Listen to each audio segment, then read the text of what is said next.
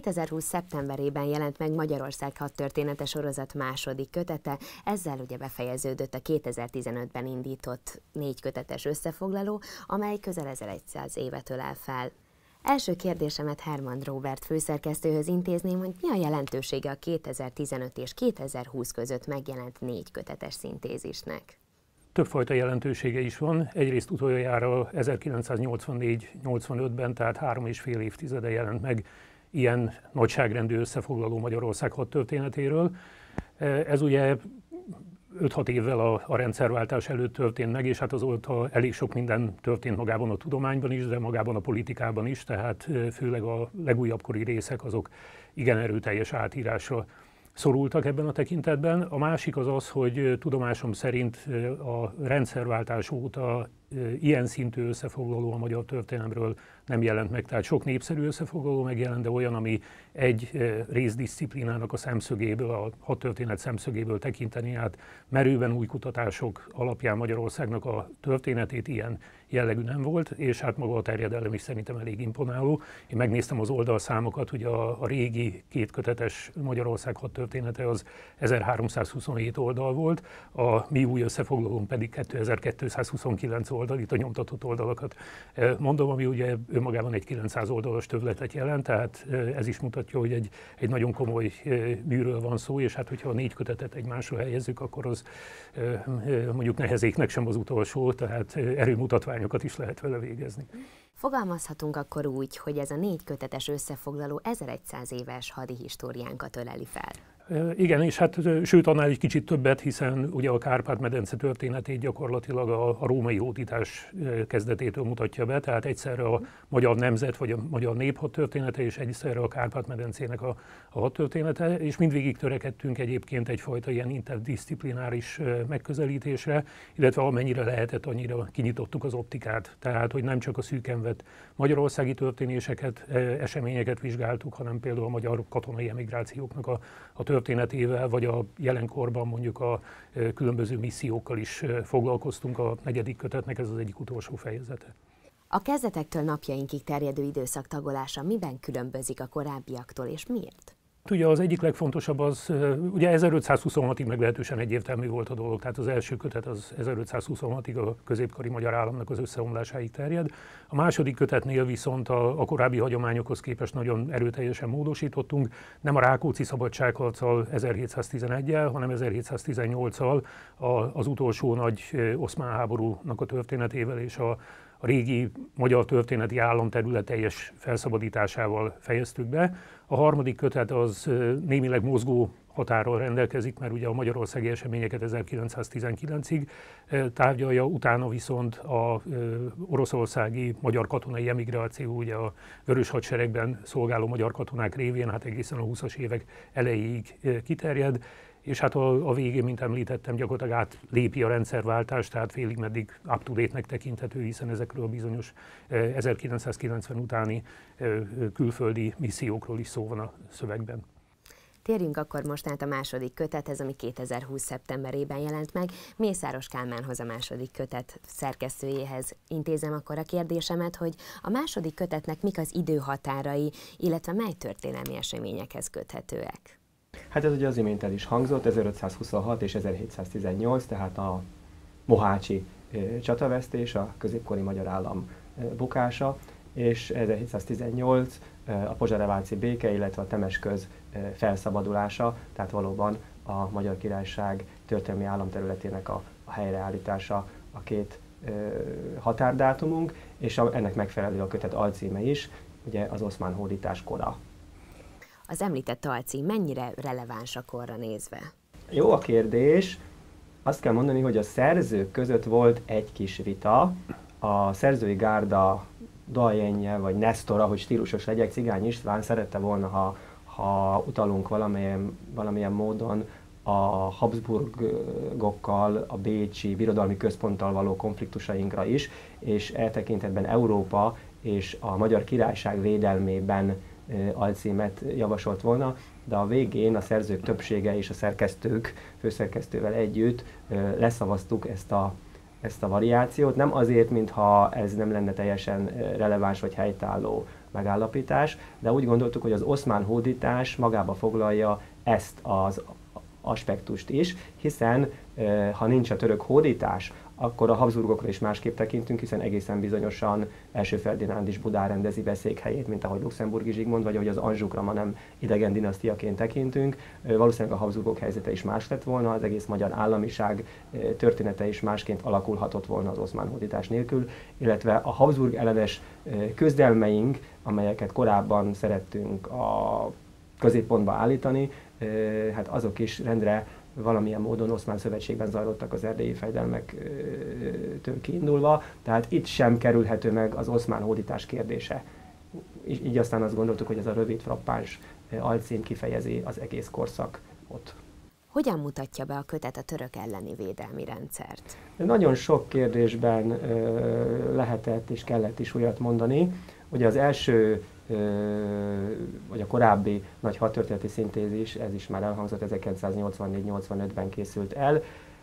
Ezt követő másfél évtizeddel később, tehát az azóta eltelt 30 évnek körülbelül a fél idejében Pálfi Géza alapkutatásai tisztázták például a, a végvári védelmi rendszer kettősségét, amelyet korábban nem figyeltek fel, tehát a végvidéki és kerületi főkapitányságok rendszerét, de Bagi Zoltán, aki a, a 15. századot jegyzi ebben a kötetben, a vár szervezet bemutatásával nagyon jól hívja fel a figyelmet arra, hogy itt középkori eredetű hadszervezeti alapokra is vissza kell nyúlni, hiszen a várnép, a vár szervezete és személyzete az középkori eredetű, és ehhez jön hozzá a, a mezei had, tehát a, kiáll, a rendek által kiállított, illetve az uralkodó pénzén felfogadott zsoldos hadsereg, amely a vár szervezete mellett gyakran helyileg is elkülönülve a vár melletti palánkokban kapott helyet. És a mezei hadviselést, a nyílt háborúkat ugye ezen a másik típusú katonasággal vívták meg. Miként rajzolódik ki például Erdély mozgástere? Ez is egy nagyon fontos kérdés.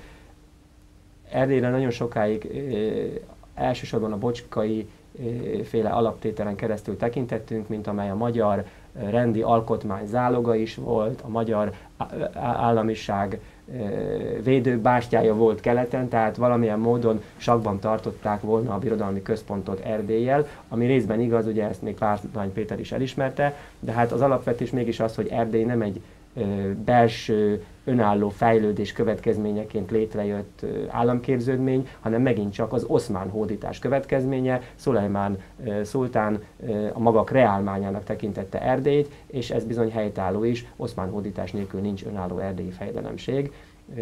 A mozgástere is ennek megfelelő volt elég, tehát a utóbbi években megint csak a szerzők egyike az erdélyi fejezetek nagy részének írója, Bészabó János foglalta össze legutóbb Erdély bukását, végromlását, amely éppen amiatt következett be, hogy az erdélyi fejedelem, második Rákóczi György, a porta megkérdezése nélkül önálló külpolitikai akció ként aspirált a lengyel trónra, és ez a lengyelországi hadjárat okozta aztán Erdély bukását, végromlását 1657-60 körül. Ha már a szerzőknél tartunk, akkor említsünk meg még pár alkotót. Hát ugye hármat már említettem. E, azt tudni kell, hogy egy szintézisre általában nem a 20-as éveiben vállalkozik egy történész. Itt arányos 40-es évei vége felé járó és már a nyugdíjkort is elért szerzőgárdával van dolgunk. Említettem, hogy Cigány István a szerzők legidősebbike, a legifja pedig Vagi Zoltán Péter, utóbbi a 15 illetve bocsánat, a 16 tehát az 1500-as évek, Cigány István pedig a 17 tehát az 1600-as évek nagy részét foglalja össze, mind eseménytörténeti, mind szervezeti, társadalmi tekintetben. Az erdélyi fejezetek nagy részét Bészabó János írta, az oszmán szemszögből a hódoltság bemutatása Sudár Balázs nevéhez köthető, nagyon fontos fejezeteket írt meg Domokos György, aki ugye a visszafoglaló háború, tehát a korszak vége felé eső egyik nagy fejezetet írta meg, illetve az erődítés fejezet egyik fő szerzője. A fegyvertörténetet a Nemzeti Múzeum szakértője Kovács Estibor írta, és ne feledkezzünk meg a szerzők között, mert véleményem szerint a, a, bocsánat, a hat tudományi fejezetet Hausner Gábor foglalta össze, és a szerzők közé én bátran beemelném Nagy Bélát is, a Történettudományi Intézet térképészét, mert nagyon gazdag és nagyon alapos, nagyon részletes térképek szemléltetik az eseményeket és a hadügy változásait ebben a korszakban. Feltételezem, hogy a kötet a Habsburg ellenes küzdelmeket is értékeli.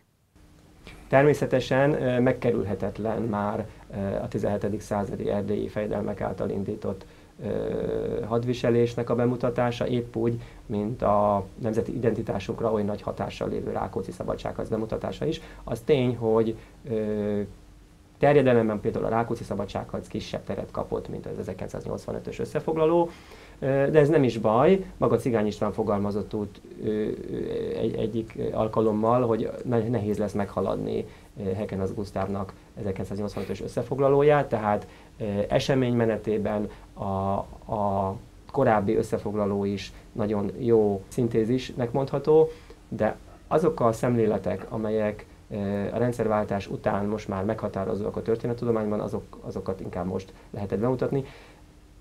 Még Rákóczi szabadságharca sem választható el az oszmán hódítástól, hiszen nem véletlen, hogy a fejedelem is végül Rodostóban a szultán kenyerem kenyerén fejezte be az életét, bár ugye az ő szabadságharca már mindenképp egy állammentő, egy, egy a magyar államiságnak a 18. századra való továbbmentését eredményező szabadságharc is volt, tehát itt már nem ö, olyan a helyzet, mint mondjuk a mostoha apja Tököli Imre felkelése idején, aki a legrosszabbkor kötelezte el magát már ö, az oszmánok mellett, még akkor is, amikor már a keresztény összefogás eredményeképpen éppen ö, megszűnőben volt a, a török hódítás kora.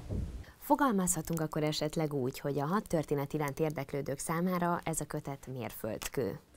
Én azt gondolom, hogy igen, mert egyrészt ugye a, a legújabb tudásunkat közvetíti. Tehát szerintem sokkal előrébb, ugye bizonyos kötetek közé már megjelentek néhány évvel ezelőtt, az első kötet az 2015-ben, tehát sokkal előrébb azóta se jutottunk, hogyha a, a, nagy egészet nézzük. És hát ugye egy csomó olyan téma bekerült, ami mondjuk a korábbi összefoglalókban egyáltalán nem szerepelt mondjuk a pozsonyi csata, amit ugye az alternatív történészek általában számunk kérnek a magyar történettudományban, hogy miért nem szerepel kellő hangsúlyjal, ebben például ilyen módon van benne, vagy a hadügyi forradalom, ugye a Mészáros Kálmán által szerkesztett második kötetben, és emellett egy csomó olyan téma is bekerült, ami mondjuk a korábbi változatokban, tehát 84-85-ben nem szerepelt ilyen módon, legyen szó mondjuk a hadifogság, az emberveszteség, vagy a hadtudomány kérdéseiről, és hát önmagában az, hogy én megszámoltam, ugye 40 szerzője volt a, a négy kötetnek, tehát átlagosan 10 szerzővel kellett dolgozni a, a szerkesztőknek, ami azért meglehetősen komoly kihívás, ugye elég, hogyha egy valaki elcsúszik, és ugye egyfajta nemzedékváltás is látható, tehát például főleg az ilyen segédtudományi jellegű fejezeteknél ugye azt látja az ember, hogy mondjuk az ászló történetről ugyanúgy írt Csékotra György, mint Reider Mónika, vagy ugye a kitüntetés történetnél Makai Ágnes vagy Sallai Gergely, ők ugye egymást váltották a, a Történeti Múzeumban ezen a vagy ezeknél a gyűjteményeknél egyenruháknál Ságvári György, vagy Baconi Tamás, vagy a fegyvertörténetnél Lugosi József és Sós Péter. Tehát szerintem ez egy ilyen nemzedékek közötti összefogáson is alapuló összefoglaló, és azt gondolom, hogy hát újabb 30 év múlva majd kíváncsi vagyok, hogy a, a, az akkori utódaink azok mit fognak összehozni, ugye, hogyha ők is megszorozzák kettővel a kötetszámot, mint mi, akkor az már egy nyolc kötetes nagy összefoglaló lesz.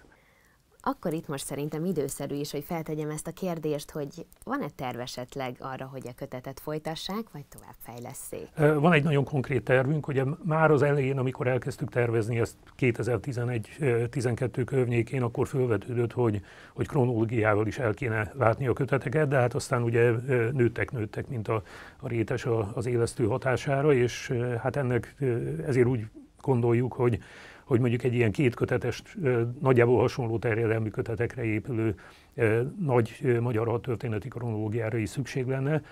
Részint azért, amit Mészáros Kálmán is mondott, hogy bizonyos fejezetek hát rövidebb terjedelemben vannak, mint mondjuk a 84-85-ös összefoglalóban. Az én nagy kedvencem 48-49 is a töredékére zsugorodott össze hasonló okokból. Viszont ugye ezek annyira eseménydúsak, hogy önmagukban elvinnének egy kötetet, hogyha rendesen ki akarná az ember ezeket eseménytörténetileg dolgozni, és egy ilyen kronológiában nagyon sok olyan információ is megadható, ami mondjuk nem fér bele önmagában a, a négy kötetbe. Tehát, és hát annál is inkább szükség lenne erre, mert használható magyar történeti kronológia sem nagyon van. Ugye az utolsó az valamikor a 80-as években jelent meg az akadémiai kiadónál, de az egy általános történeti összefoglaló volt, és azóta nagyon nagyon sok tekintetben az eseménytörténeti rekonstrukcióban is sikerült meghaladni annak a, az adatait. Összességében akkor hogyan értékelnék ezt a közel öt éves munkát és annak gyümölcsét? Hát én nagyon büszke vagyok rá, hogy főszerkesztőként jegyezhetem a négy kötetet, és ugye szerkesztőként a, a harmadik kötetet. Voltak nehéz pillanatok, ugye ezt Kálmánnak külön nem kell hangsúlyoznom, de nekem is voltak nehéz pillanataim, amikor azt gondoltam, hogy soha nem fog megvalósulni, mondjuk a harmadik kötet, és főleg a, a négy kötet soha nem fog összejönni, de alapvetően egy jó hangulatú munka volt, tehát szerintem büszkék lehetünk mind szakmailag, mind pedig a, a külső becsét tekintve is a, a kötetekre. Ugye ilyen szép kiállítású magyar történeti összefoglaló szerintem nagyon régen nem jelent meg, és hát itt a, a kiadónak is külön hálásak vagyunk. Tegyük hozzá, hogy, hogy tényleg pénzt és energiát nem kímélve szereztek be olyan illusztrációkat, amelyek itt jelennek meg először legyen szó nem csak a hazai közgyűjteményekről, hanem mondjuk akár a Vatikáni könyvtárról, vagy különböző egyéb nagy külföldi közgyűjteményekről, és hát amit Kálmán már említett, a, a térképanyag is szerintem elsőrendű ebből a szempontból, tehát rengeteg olyan korábban rosszul beidegződött térképvázlatot sikerült ezzel kiváltani, amelyek ugye vissza-vissza köszöntek a korábbi összefoglalókban. Itt viszont minden egyes térkép ugye a szerzők és a, a térképész Nagy Béla együttműködésével készült, tehát ebben a tekintetben is joggal lehetünk büszkék. Így van, hát ha a kiadó dicsérete már elhangzott, akkor ne feledkezzünk meg a kiadói szerkesztő munkájáról, sem kis Celi Piroska nélkül sem lett volna ilyen a kötet, amilyen lett. De a szerzőgárdát is növelhetnénk, a második kötetre van most frissen rálátásom, hogy nem csak e, korabeli illusztrációs anyag, hanem rekonstrukciós illusztrációs anyag is e, első osztályú, ha az én értékelésem ebből a szempontból valamennyire számít. Nagyon szépen köszönöm, hogy itt voltak velünk. Az Rényi kiadó weboldalán a könyv kedvezményesen megvásárolható, ajánlom minden néző kedves figyelmébe.